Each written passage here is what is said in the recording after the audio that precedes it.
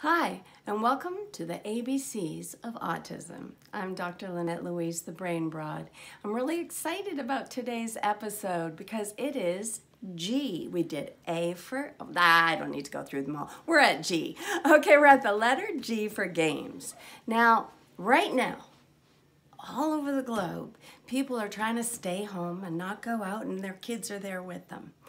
So that probably includes you. And you may be saying, what am I supposed to do with them? Well, I'm going to give you a trick for homeschooling. Number one, you get rid of all the extraneous teaching. You don't have to learn most things that schools teach.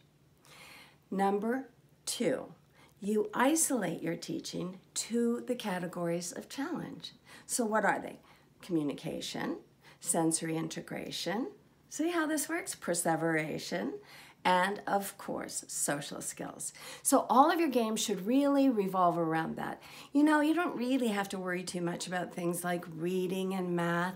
Now, if they fit, great. But they're easy later when these things are fixed or at least made better. So let's go quickly through a couple of examples. If you have a communication problem, you have a child who just won't talk. Maybe they script all the time. Every commercial they ever saw, they know all the words, but they won't say hello. It's very frustrating, isn't it? Most of them will say no.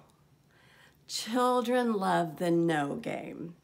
I play this game with almost every child who's at beginning language level. You bring them a toy and they say no and you throw it away and say, not that one. And then you bring them another toy and they say no and you throw it away and say, not that one. You can do this for the longest time.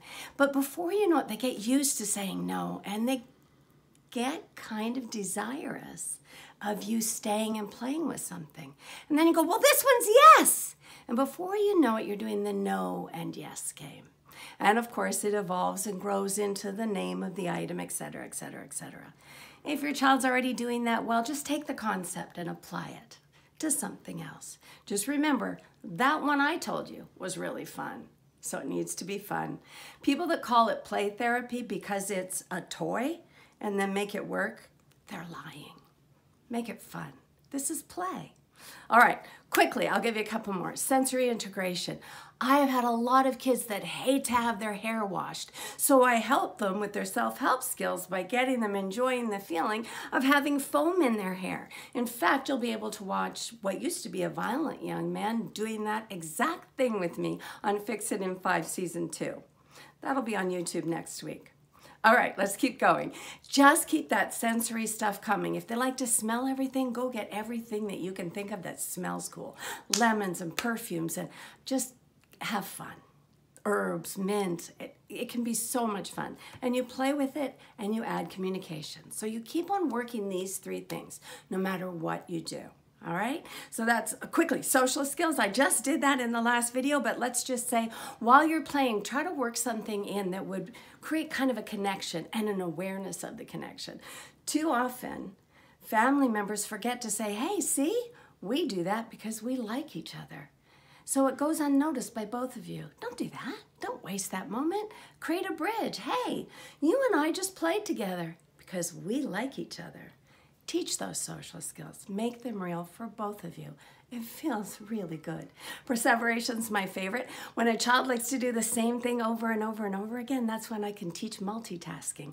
If they like to line up blocks, for miles you've got the same line of blocks. While you're helping them do that and admiring that, you can have a conversation. It'll be about the blocks, but it'll be multitasking because it's conversing and lining up. Go for it. You can do it. Build from what I gave you. I have a birthday to go celebrate, so I'm out of here. My name's Dr. Lynette Louise, the Brain Broad. You've been watching the ABCs of Autism. This was the letter G.